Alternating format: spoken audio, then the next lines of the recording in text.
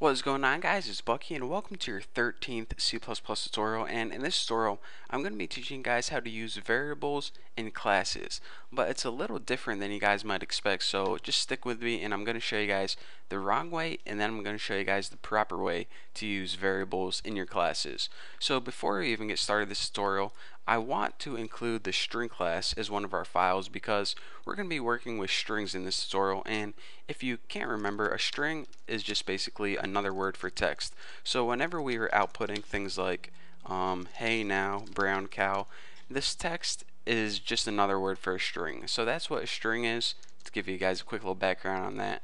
So go ahead and include the string class right under your IO stream right above your namespace and now like I said, before I show you guys the proper way to use variables, I want to show you guys the wrong way because this is a common mistake that a lot of beginners do. So you go ahead and you added your access modifier, public, and say you wanted to make a name variable. Well, name is of course a string, so go ahead and make a variable called name and set it equal to the type string. This is good to go. I mean, so now we have a variable in our Bucky class called name. So again, if you remember from last tutorial, in order to use the things in that class, you first need to create an object. So in order to create an object, you type the class name and then the name of your object. I'm going to name mine BO, which does not stand for body odor, stands for Bucky's object. So then we have an object named BO. And with that BO object, we can access variables by using the dot separator and just the name of your variable. So then once we have this variable name from the Bucky's class, we can go ahead and see it equal to any name we want like Bucky Roberts. And then this variable right here is equal to Bucky Roberts. So then whenever we try to print it out, bo.name, it just goes ahead and it prints out Bucky Roberts on the screen. So you're saying, alright Bucky, that seemed to work pretty darn good to me. So why did you say that that was not the proper way to do stuff?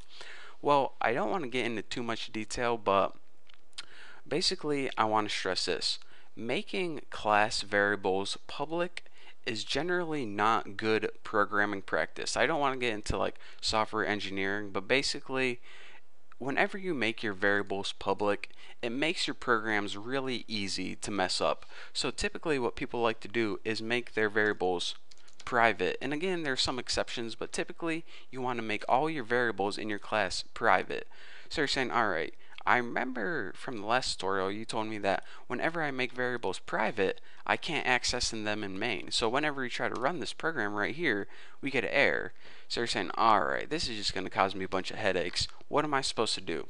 Well, if you remember what I said, I said nothing outside your class can access these variables. So we need to build a public function inside your class to have access to those variables. So that is what we need to do. So let's go ahead and delete all this and we already made our variable private so now let's go ahead and make public functions to access them because remember if we make a public function to access that variable we can use those public functions outside our class in our main so in order to do that just go ahead and write public and now everything you type under here is going to be public. So we want to add two functions. The first one is just going to be, first of all, we're going to want to do two things to this variable name. We want to be able to change it and and that means set it like set it equal to Bucky, set it equal to Tom, set it equal to Jessica. So we want to be able to set the name and our second function is just going to get the name. We want to return the value Bucky, we want to return the value Tom, Jessica, whatever.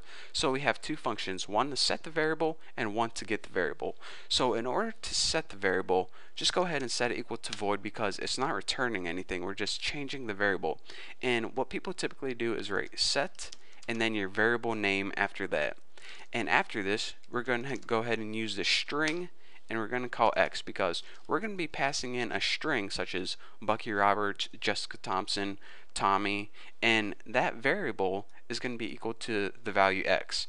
So whenever we set name, we want to change it, all we need to do is set it equal to the variable x, and then it sets it equal to whatever value we passed in. For example, if we say set name Bucky, it's going to treat Bucky as x, and now our name variable is going to be equal Bucky. Simple enough. So that is called our setter method or excuse me, setter function. A method is actually, if I say method and I actually mean to say function, just remember that I uh, I've been teaching like 80 different computer programming languages, and in some languages they call a method a function, and vice versa. So I might get it mixed up, but trust me, a method and a function is just the same thing. So, anyways, with that little background, I now want to say this. We already built our setter function, how to change that name variable. Well, now we want to build a function to access it. And remember, since we want that name in return, we go ahead and type string because the name is, of course, a string, a bunch of text. So what people typically do here is instead of set, they write get because they just want to get the name. So go ahead and write get name. It's not going to take any parameters. And in the body, this is probably the easiest thing you're ever going to do. All you do is return the variable. So check it out. We don't have direct access to this variable, so we have to go through functions. In order to change this variable, we go ahead and we use this function. In order just to get the value of the variable, we go ahead and we use this function. So now instead of directly accessing this variable, we can do it through public functions. So again, like I said, the only thing that have the only thing that has access to these private variables are other things inside this class. So if we make those functions public, then we can access that variable kind of like cheating, you know?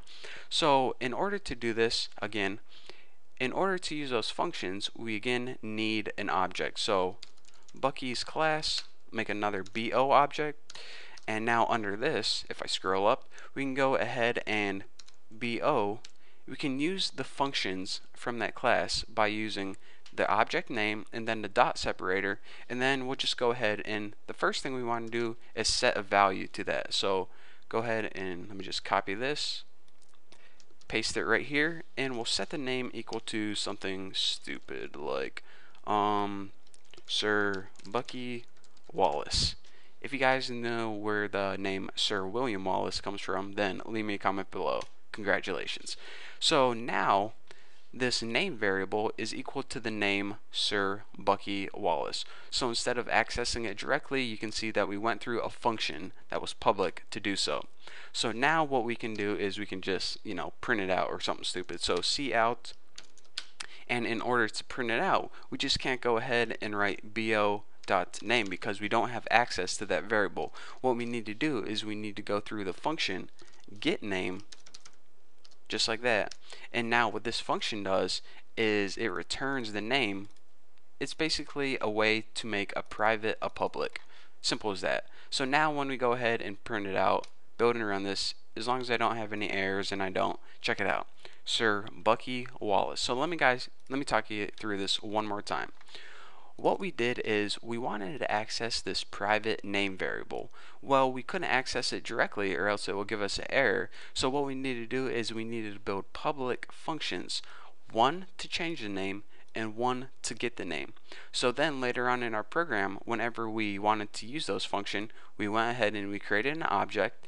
And then remember, whenever you want to use anything inside your class, write the object dot separator function object dot separator function. And then we ran our program and it worked pretty darn good. So that is the bad way to use variables and also the proper way to use variables. Again, you can put these variables as public, but it's just bad programming practice and bad software engineering. You're never going to get a job as a computer engineer if you make your variables public. So thank you guys for watching this tutorial. Um, if you have any questions, check out my website, thenewboston.com. It's a pretty sweet website. I definitely want to check it out. So uh, I am going to go get a drink because I've cotton mouth now, and uh, you guys study this tutorial, and I'll see you in the next video.